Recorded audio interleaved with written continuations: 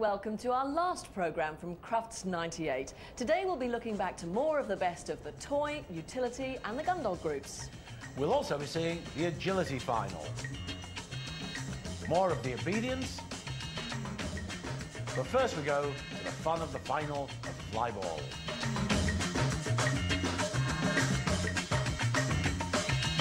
And we start with the third and fourth place playoff.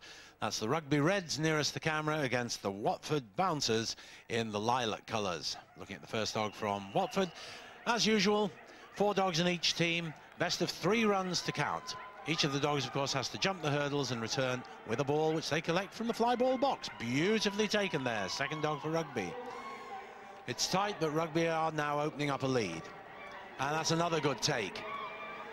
Rugby were very unlucky not to get into the final itself and they're going to prove the point here. This is a very clear win in the first leg. Rugby really with a point to prove, and they're moving very quickly and they're very accurate. That's a lovely catch there. These old-fashioned flyball boxes we're using, rather than the speed boxes that they use for major competitions. Second leg now. Can Rugby take third place? Well, Watford Bouncers dropped the ball.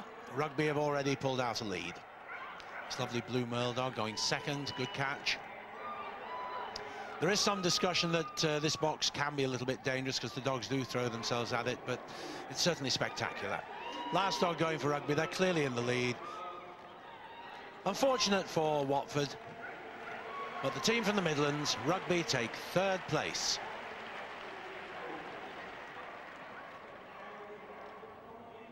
Beautiful run out, nice stop there, watching the ball. Good jump. The final then was between the pack, that's Packington outside Solihull, and Belisha Beacon from Streatley. The pack are on the far side, Belisha Beacon nearest the camera, and immediately a mistake by the Belisha Beacon team. The pack going out into the lead, not a border collie as you see there. And any variety, well you can run any dogs you like in these teams, mostly it's border collies because they're quickest. And this is a good run out. Sometimes, of course, we see the, the working sheepdogs as well. The pack in the lead, but they won't be now. That was a mistake, and it's cost them. Look at that. Oh, that's close. Belisha Beacon take it. First leg to them. Unfortunate, the dog just missed the catch. Very quick on recovery, but not quick enough. Losing out by about five yards. Second leg then. This must be won by the pack, otherwise Belisha Beacon win the title. And the pack are in the lead. They do seem quicker. Good catch there, but it's just about neck and neck. I think in the semi-finals, actually, uh, Belisha Beacon weren't very quick, but they're very accurate. That was a wonderful catch, and they've opened up a lead. Last dog going. This is the finishing run. That's it. That's it. Belisha Beacon take the title. Oh, and aren't they pleased? This team from Streatley win the flyball championship. Yes, it's all good fun, isn't it? Well done.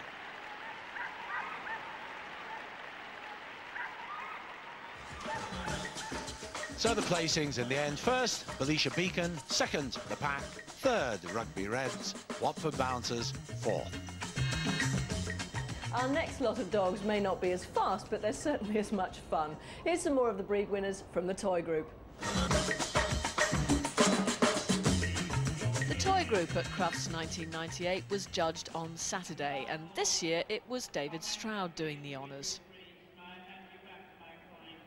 This rich Blenheim Cavalier King Charles Spaniel is called Hadley, Stormtrooper by Del Hayes. He's two years old and will have delighted owners Eddie and Hazel Edwards by winning his third challenge certificate and gaining his crown at Crufts. He was bred by Maggie Clayton. What delightful little spaniels these are, Jess. They really are spaniels, aren't they? The perfect temperament for a companion, the only defect being a tendency to have to fight the flab because those gentle eyes seduce their owners into parting with all too many titbits. They need regular attention to their coats, especially behind those very expressive ears. And they have the advantage of having those lovely full-length tails. Smashing little dogs. Another newly crowned champion, this is Amalek's Sophisticated Lady, Bonnie, a young English toy terrier bitch owned, bred and handled by Mary Wilson from Okehampton in Devon. Something of a contrast to the Cavalier. The hallmark of the breed are those candle flame shaped ears, very upright. It's a wedge shaped head, but not snipey. Graceful neck, finely boned legs, ending in those dainty compact feet.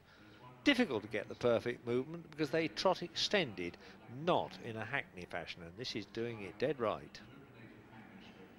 For the second year running, Shuji, or champion Vival Shuji Tamura, tops the Japanese chin entry for owner-breeder Chris Tappenden, who hails from my neck of the woods near Salisbury in Wiltshire. Apparently Shuji stamps his feet for his titbits. Oh, well, as long as he gets the titbits, he's all right, isn't he? It's a clever combination of aristocracy with cheek, that face, renowned for the flashes of white in the inner corners of the eyes. Fair size of skull for a dainty dog, which shouldn't weigh any more than three kilograms, even with that cobby-looking chest. Very stylish chap, quite convinced of his own importance, as most toys are. And a wonderful profuse coat there too. Now, a duckling that turned into a swan is how John and Josie Mann describe their little papillon bitch, Sarah, or champion Greycaz Serendipity, who was bred by Caroline Lee Farnsworth. She's just two years old and already has seven challenge certificates. It's a breed that comes to the top of the toy pile at a great number of shows, and rightly so, because it's one of the soundest built of all toys. Very intelligent, can be trained up to a remarkable stand of obedience, those heavy fringes to the ears are another speciality, so Mistress Sarah's got the whole lot going for her. Their judge this year, incidentally, took one through to reserve best in show at the 1991 Crufts. Bert Easton and Philip Martin are no strangers to the Crufts Group ring. For a start, Bert was handling this little Pekingese in the toy group at Crufts last year, where they took Group 2. Champion St Sanja Grand Finale at Yaki is now three years old and was bred by Barry and Anne Ophelia. The Yaki kennel gives us time after time the best in show as far as peaks are concerned. We know about Peter's liking for peaks. I have to go along with him over this chap's splendid head and expression, but also because his dignified and purposeful progress round the ring really looks as if he could enjoy a walk in the park or even to the supermarket. A nice dog. Jan's Clan Dark Crusader per Pugini, or Nino for short, is a 22-month-old black pug dog belonging to Pat Ruffini and bred by Mrs Phillips. Nino won his second challenge certificate today, so only one to go for his championship. Well, there's a thing, proper bit of pomp and circumstance here. It's not often these days that we see a black pug of this quality. There used to be plenty in the 50s. Proud expression, strong legs, cobby chest and level top line with that natty high-set twist of a tail. Really rather splendid, isn't he? They make very popular pets, don't they, because they've got such lovely natures too. So we're down to six, but who would David Stroud's final four be? He perused his lineup for a little and then went over to the Maltese winning the toy group for 1998 and a totally stunned owner, champion Sabrador Whitetail Express Teddy, owned by Greta Franklin. And it's her first show dog, so you can understand why she was looking so pleased. Into the reserve spot, Group 2, the Italian Greyhound, champion Florita Favolosa Luisa, a nine-year-old bitch owned and bred by Helen Lister. Group 3 went to David Stroud's own breed, the Yorkshire Terrier, champion Verilan out of the blue, Weenie, owned, bred and handled by Veronica Sameja Hilliard. And into Group 4, the final spot, Dorothy Entwistle's little smooth-coated Chihuahua, Dorenti's Knock'em Dead Norman, getting a real kiss and a cuddle there. But going forward to the competition for Crufts 1998 Best in Show, well, from the toy group, it's the Maltese, champion Sabrador Whitetail Express for Greta Franklin. What a day for them.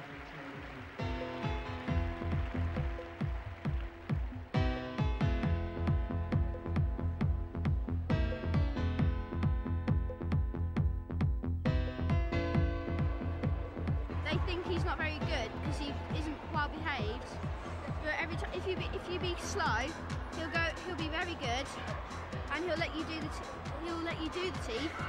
But if you rush in like this, he won't like it. They're lovely. They're so sweet. Oh, puppy, puppy. This sort of dog, because I mean, there's so many different dogs. So This is just like, this is really exciting. The Bitches obedience competition was held on Friday here at Crufts, and here's a reminder of the tests. The first is the retrieve, and appropriately enough, the Bitches were after a fluffy pink toy. Take it. Then there'll be some challenging heel work to do. The send away, the dogs sent away from the handler to drop on command in a designated spot. Distant control, a sequence of commands to be obeyed, of course, at a distance. The two minute sit and the 10 minute downstay, a real test of obedience in the Crufts big ring. There are so many distractions. And finally, the scent test. Pick out the judge's cloth only. So, what are our expert Sandy Wadham's tips for the top? Definitely Karina with Ginty, Kim Innes with Heidi, and Catherine Gillard with Zola, which is a super little dog. Let's start by taking a look at that retrieve. This is Sylvia Bishop, an obedience champion. It's a kind of magic. The 25th consecutive year that Sylvia's qualified a dog to work at Crufts. An incredible achievement and a lovely retrieve, losing just three quarters of a point. Take it. Finish. Can you throw your article? Now, this is one of Sandy. Wadham's tips. Catherine Gillard with obedience champion Zolmarg Zola. Send your dog. A near perfect retrieve this, the best of both the dog and the bitch competitions. Take it. Finish. Beautiful. And a proud owner too, I'm sure. Let's stay with Catherine and Zola in the heel work. Sandy describes this as superb, accurate and flowing. She's a real pleasure to watch, isn't she? Just five and three quarter points lost in this performance. Out to me. Janet Oliver now with obedience champion Corrie Colley's Jessie. Lovely to watch this. Not as accurate as Zola, but so keen and stylish. Eight and a quarter points lost. Karina Griffiths, an obedience champion, Ginty at Carjon now. Nice smooth heel work, dropping just eight and a half points. Second position coming. Now. Really precise. Forward. A German Shepherd, obedience champion Ashlew and Charisma Kid with Kim Innes, another of Sandy's favourites. But Kim And went the the wrong way round the weave, a costly mistake in the end. Seven and three quarter points lost.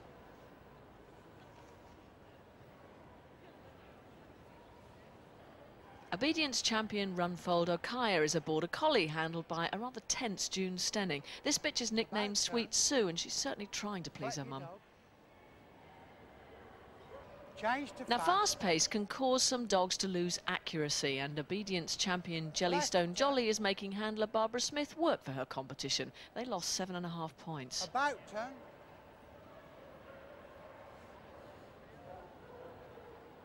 Obedience champion Jenna Bacab Instinct and Stephanie Woolham, they lost only four and a half points, the best heel work of the day.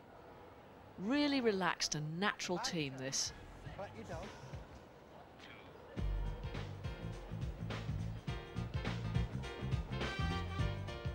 The send away. And again, it'll be the confident dogs who aren't intimidated by the direct stare of those collie markers. Those will be the ones that'll score. This is a good Right send away from Janet forward. Oliver and obedience champion Corrie Collie's Jessie. Call your dog. Nice and alert to that pickup. A fast dog, isn't she? Left turn. Now, what a name. Julie Strickleton is handling Shucks It's Send your dog. Mine. But she does a lovely send away. Uh-oh. She does lose points, though, when she decides to play hide and seek. Right turn to me forward. Much to the amusement of the crowd here at Crufts. Distant control. When this test is done well, it's quite wonderful to watch. And this team, obedience champion Jellystone Jolly and handler Barbara Smith, hit the spot just right. Perfect. This brings them back into contention, I should think. six. Return to dog. Obedience champion Jenna Bacab Instinct ready to go. About turn hold. But Stephanie hasn't even opened her mouth and she's anticipated the first position. Three points lost, and will that affect their chances?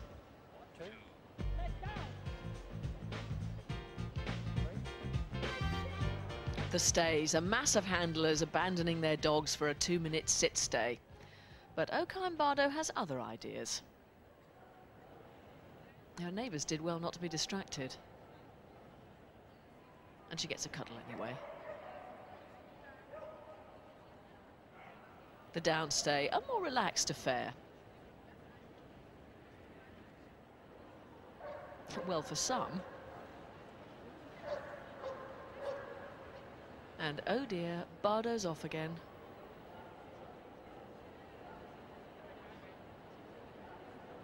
Go and talk to the audience. Anything other than a downstay, much to the dismay of owner Jean Everest.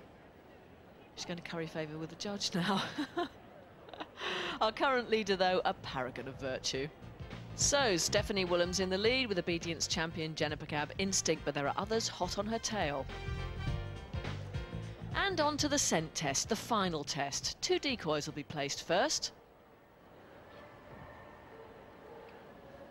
And that last cloth, well, that's the judge's cloth.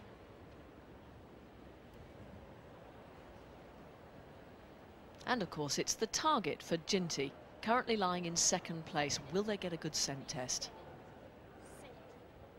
Send your dog. Going out to work those cloths. Oh no, that's the wrong one. Huge disappointment for Karina Griffiths. Ginty fails the test, loses 50 points, and he's out of the competition. Now, three quarters of a point in the lead at this stage. Obedience champion Jennifer Gab, Instinct, keen to get on with the job. Must be a nervous moment for Stephanie Woolham. But that's the right cloth, and just one point loss for this team, giving them a total of Take it. 13 points. Finish. Test finished. Excellent. Now what that means is that if the next dog up, obedience champion Zolmarg Zola, can pull off a perfect scent test, she can win this competition. If she loses a quarter of a point, she'll tie for first place. Half a point lost, and she's in second, the same as last year. An awful moment for Catherine Gillard. Ah, a bit of hesitation, but Zola has got the right cloth. Take it. Finish. Wonderful. Test finished. and relief all round. But now it's just a question of seeing what those points calculations are going to come to. How much is she going to lose? Wait for it. You could say that again. Get the calculator out.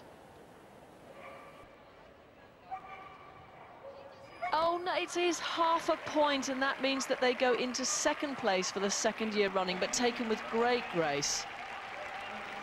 So the 1998 Bitch Championship here at Crufts goes to Stephanie Woolham and obedience champion Jennifer Cab Instinct, with Zola going into second place, Jellystone Jolly in third, obedience champion Runfelder Kaya in fourth, and bringing up the rear, Tessa Baby.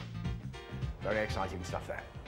Our next group of dogs doesn't fit easily into any of the other five groups. They were bred to carry out a variety of different tasks. So here's some more breed winners from the utility group.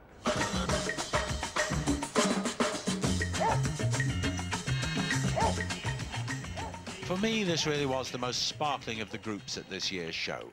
24 breeds, which don't easily fall into the other groups, came under the eye of Monica Boja Black, the utility group judge. And each of the dogs in this group really did seem to want to show, and this little Boston Terrier was no exception. One of the sparkliest, I think. Antrix Silver Joey. It's a two-year-old bitch owned by Mrs. Kennedy from Peterborough, and I think that that head is gorgeous. You're dead right. It's the national dog of America, of course. And it's very pleasant to see such a striking UK representative as they really aren't particularly strong over here. That head, as you said, was very smart in its markings. For me, he's got a correct chunky neck and shoulder into a deep body, which is not too chunky. He also moves well, which isn't always the case in our Bostons. I love the way he throws his ears back as he goes. He's now pushed them forward. He's lovely.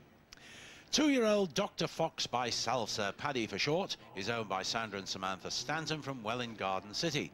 Samantha is the handler. Now, Paddy's grandmother was actually best of breed here in 1992, and her grandfather was in 1993, keeping it in the family, as it were. Indeed. Now, this isn't a particularly heavy dog for the breed. He's beautifully balanced, both standing and on the move.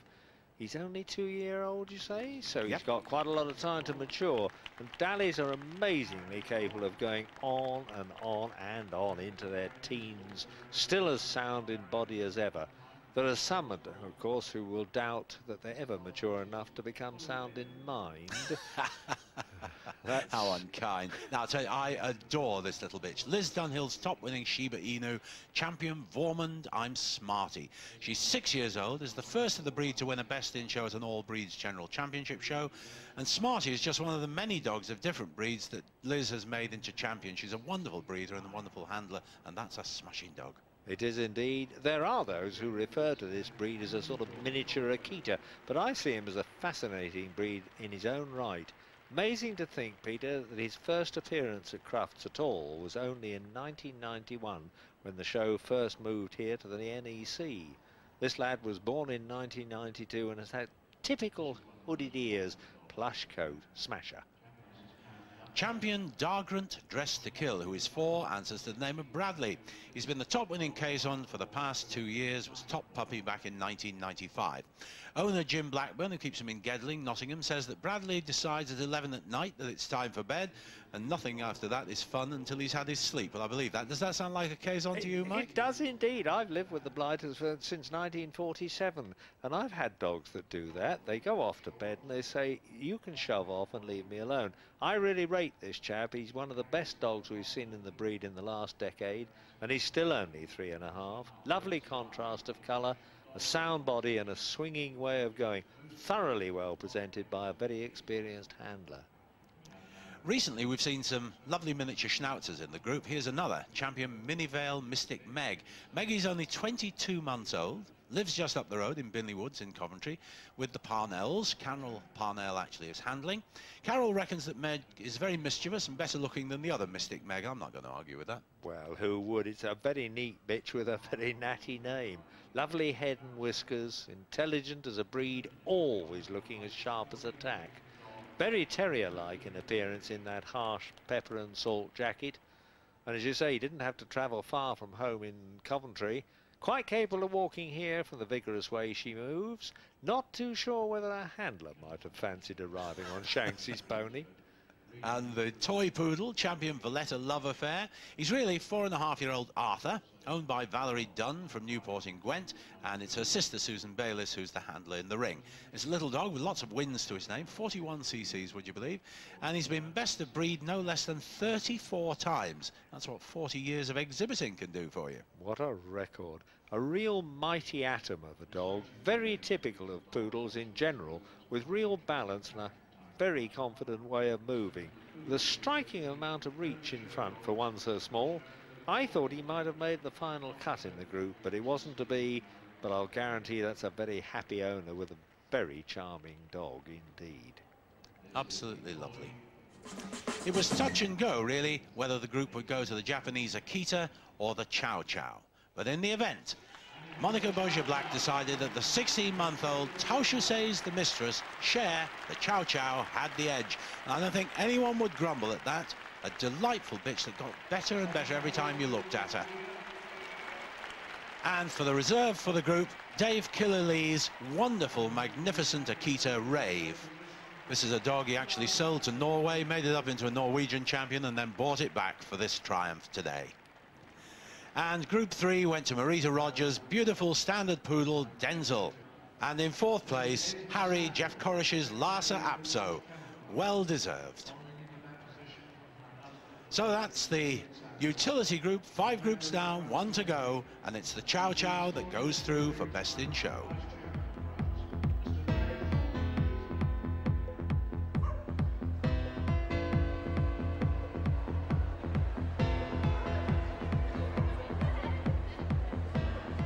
I'm Bristol, so that's regarded as local. But you're, you're, I mean, you're talking from Scotland to Cornwall. You know, they, um, this is the show people travel to. Normally, most people only travel two or three hours, but if it's Crufts, that doesn't matter. They travel any distance. Yes, there's a lady over there with a hairy thing who's come from Northumberland. She's got a five-hour drive home. We'll be home I think in she two means hours. a Tibetan Terrier, by the way. Now the action really hots up as we reach the final stage of the agility competition.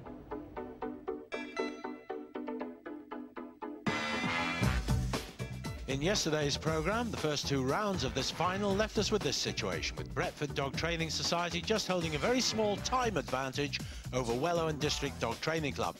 Burridge Dog Training Club were third, Derbyshire Dog Agility Club were fourth. And it's Derbyshire that we see first. Kay Cope, who's a legal secretary from Stone in Staffordshire, with her dog Fern, actually called Fire of Furnace, four-year-old working sheepdog English Springer Cross.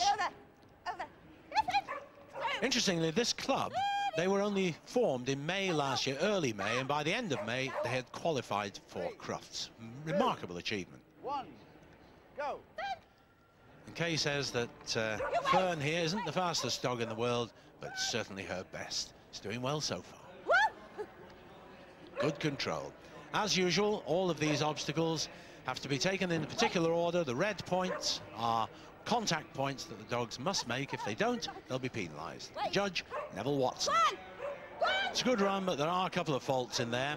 The total faults for the team, 25. 10 of them came in this round, and there's one of them as the dog missed the contact point on the A-frame. Burridge Dog Training Club next. Linda Day is a biochemist from Southampton. The dog is Kizzy, nine and a half years old. Kizzy Cola. Third time Kizzy's been to Crufts, including the team final last year. Three, two, one, go. Five second hold there just to prove that you have control over your dog. Don't let the dogs go willy-nilly after all these obstacles just charging on round. They have to be controlled. Linda Day controlling pretty well, but there comes a bar down. Picking up faults.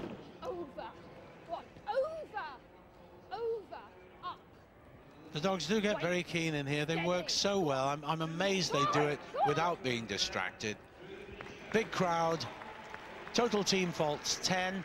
Five of them here. There it goes. Wait. Wait. Wait. This is Kai. Kai is five years old. It's crossbreed. Kerry Lynch is the handler, technical specialist from Southampton. The team is Wellow. Kai was actually a rescue dog from the RSPCA, which uh, Kerry got four years ago. And she says he's a real mummy's boy. Shame coming off the table there. That just takes time. I doubt if there's a penalty, but uh, we'll wait and see.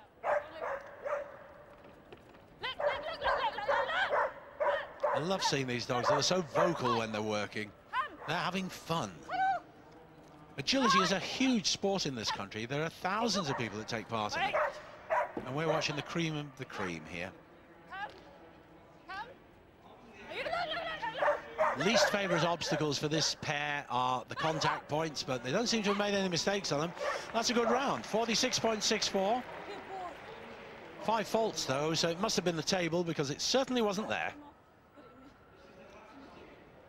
Next to go for Brentford Dog Training Society, Lucy Lastic, this working sheepdog, eight and a half years old, with Steve Baldwin. 11th time at Crufts. Oh, and a mistake there, the beam's off. Five faults at least. This side Steady. have gone clear so far, but now they've got faults. So time is going to be important, I guess. Go. Come here.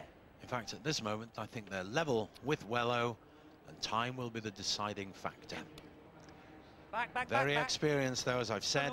And believe it or not, this dog is the only one, I think, ever to have appeared in both the Agility Team Final, Championship Obedience and Flyball in the same year at Crufts. A remarkable achievement. Steve making sure that they're accurate and they're going to be in the time. Are they just? Yes, just beating 49 seconds. That's good. Just the five faults.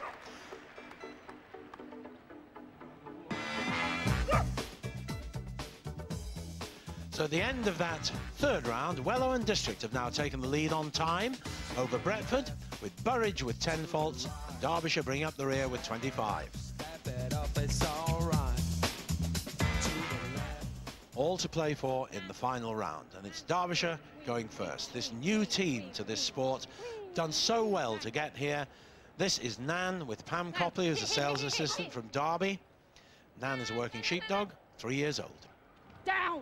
Down. Four, three, two, one, go. Nan's a sweetheart that talks too much, says Pam last year, the very first year in agility. The enthusiasm this team's got, and they brought such a lot of supporters here with them.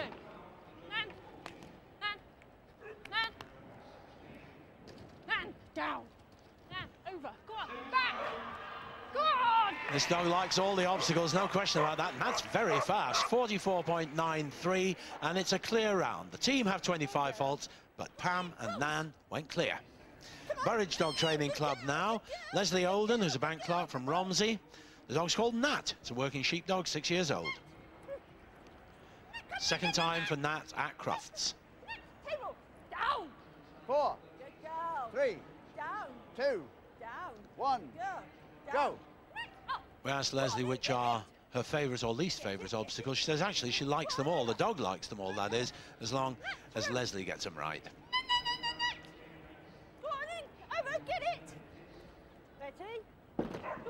It's so good listening to these words that they use. They all have different techniques for controlling the dog, but this is good. Are we in for another clear round here? It is clear, and it's another fast one, 44.62.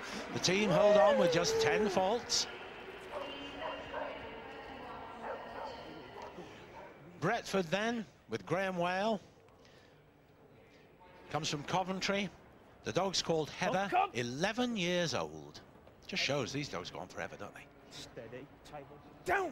Down. Four, three, Flat. Flat. two, Flat. one, Flat. They held the Go. lead for the first two rounds, of Steady. course.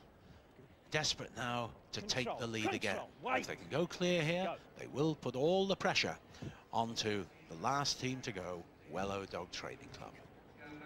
Brentford won it here last year. Steady. They want Wait, to win control. it again. Over. Oh.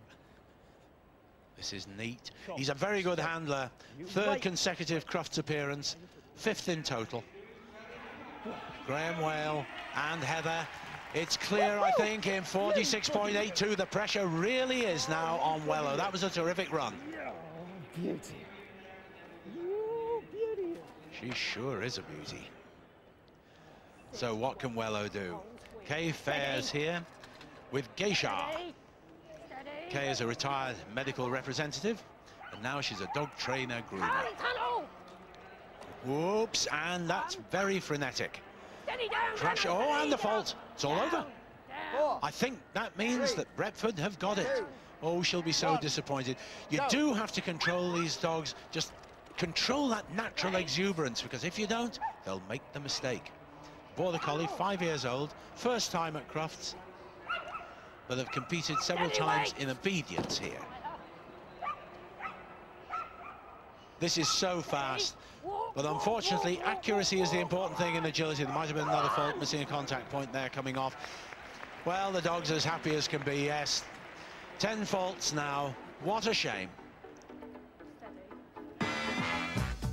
Confirmation then of the result. Brentford Dog Training Society win with only five faults. Wellow and District Dog Training Club second. Burridge third. Derbyshire are fourth. And interestingly, Derbyshire, who were fourth, put up the fastest time. Time for the last of our groups now. These are the dogs bred to work in the field. They're intelligent, steady and reliable. The gun dogs.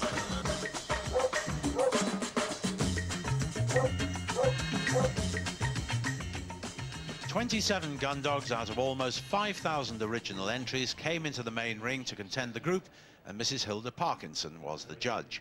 Again, this proved to be a very high caliber group, and the Italian Spinoni was certainly impressive. Kiki, or champion Roscali Lucilla at Letirios, is four and a half. She's owned by Lisa Macadam from Kislingbury in Northamptonshire, and Kiki is her first show dog, so you can imagine the delight to be in this position today. What a triumph. It's an unusual breed, isn't it, by anybody's standards, with his very solid build and slightly dipped top line. It's got a very patient temperament, which is one of the reasons why I imagine it's gained steadily in popularity since first landing here from Italy. That tough, wiry coat presumably keeps her waterproof. It certainly keeps her warm. The official gait standard says she should be relaxed on the move. She certainly was. The pointer is the group judge's speciality. Show champion Adstock Jacobite, Jack, is six years old. His daughter actually won the reserve CC today as well. Donna and Ted McDougall breed their dogs in Fakenham, Norfolk. They have a field trial champion and two other show champions at home. And Jack here is a real hater of hot air balloons. I don't blame him. My Newfies are as well. What a story. And what a spectacular fellow. All clean lines and clean angles. Already six years old, but swings round the ring with style and panache as if he was still a junior. But then, of course, Peter, you can expect that when your owner and handler is a vet. The group judge cut her teeth breed, breeding pointers, so she will have appreciated this character, as you rightly said, a smashing dog.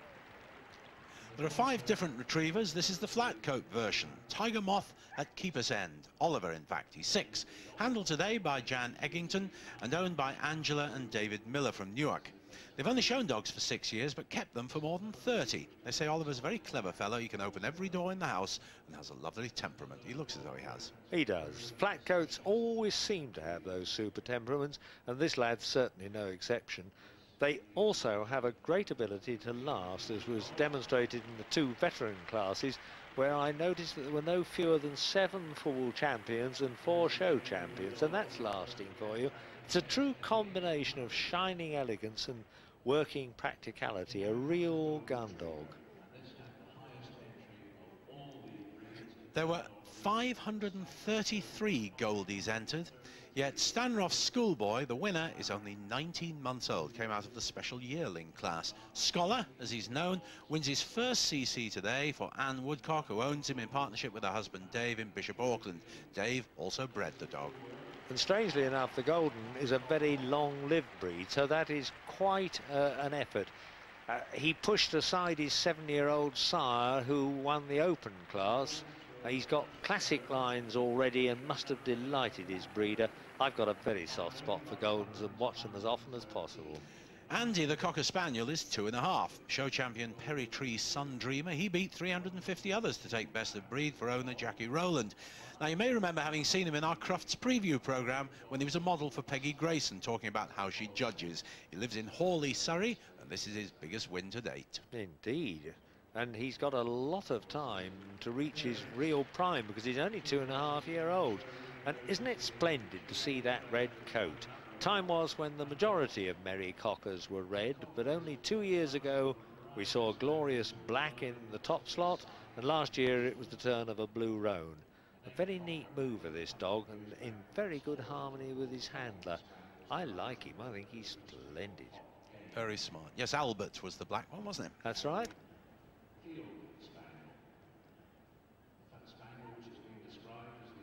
Sandvika Crusader. Three-year-old field spaniel known as Jamie. He's a real mummy's boy, this one. Sharon Bamford from Chesterfield admits that he sleeps on her bed and takes a squeaky toy to bed with him. I mean, that's too much, isn't it? Today's his first CC, as it's been with such a lot of the dogs that we've seen this year. It's very remarkable, isn't it? Because he's only quite a youngster. The field, of course, is longer cast than the cocker, but has distinct similarities. But this is that lovely liver colour.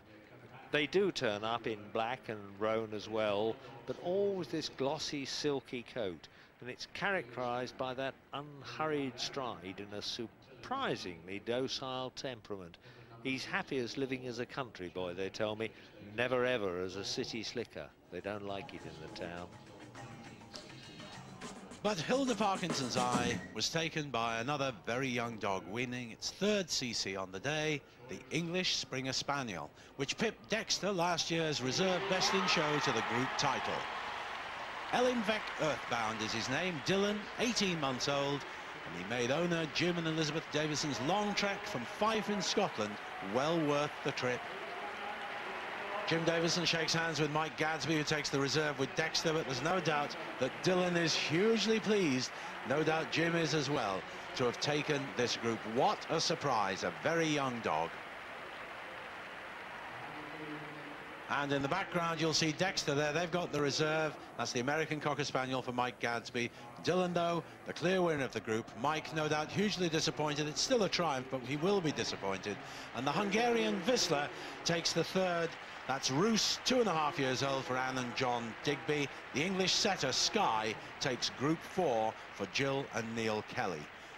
Well, it's this English Springer Spaniel, this very young dog Dylan, who completes the lineup for the main event.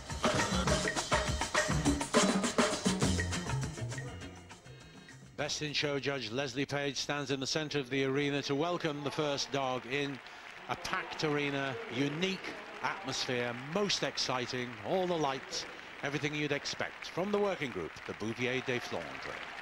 From the Terrier group, it was the Welsh Terrier. The Hound group, the Afghan. From the Toy group, the Maltese. From the Utility group, the Chow Chow. And finally, Hotfoot from the Gundog group, the English Springer Spaniel into the final spot. I don't know really what you felt, Jess, but I thought this was a super lineup. There were some extraordinary choices from the groups, but uh, when you see them lined up there, don't they all look good? Most importantly, some young dogs, just like this one. Yes, just 18 months old, this. It's owned by Carrie Wilberg and Fiona Lambert. It's called Champion Canucks Xena. It's a bitch, of course. Comes from Cricklade in Wiltshire. From the Terrier group, of course, we had that gorgeous Welsh Terrier, champion Saradon Forever Young. Judith Averis and David Scorthorne's two-year-old dog bred by David. Showing typical Terrier temperament there, something's caught his eye.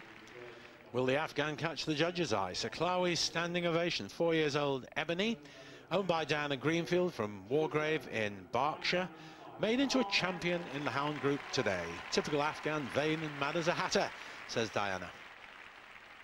From the toy group, the Maltese champion, it's either Sabador or Sabrador Whitetail Express, Teddy, whatever, a six-year-old owned by Greta Franklin. And this is Greta's first show dog, so quite an achievement. The Chow Chow now, another surprise package, just 16 months old. Tao Suchet is the mistress. She's known as Cher. She's owned by Karen Bolam from Plymouth. Cher won her crown, she says, in just four weeks. Well, made into a champion on Utility Day. At just 18 months old, Ellen Vec Earthbound, the English Springer, Dylan from the Gundog Group, owned by Jim and Elizabeth Davidson, and of course bred by them too. A roar from the crowd there. Well, Leslie Page wasted no time. It was very deliberate. He went straight over. The Welsh Terrier took it. I won't say it was a surprise. Any one of those dogs looked good enough to me, Jess. This is such a super Welsh, though. It's had a fantastic year in 1997. And the Chow Chow got the reserve, and that was uh, everyone was thrilled with that. Just looked better and better every time you saw her, right through the competition. Did indeed. The Welsh Terrier, Mel, just two years old, and the Chow Chow, just 16 months old. What moments for their owners. And that really wraps it up from Crufts for this year. We really hope you've enjoyed our coverage. And we'll definitely be back next year for Crufts 1999. We do hope you'll join us then. But until then, from Peter, from me, and from all of the team here, Goodbye. Bye-bye.